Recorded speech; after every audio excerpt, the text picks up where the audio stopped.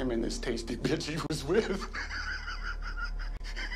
and that's the best part.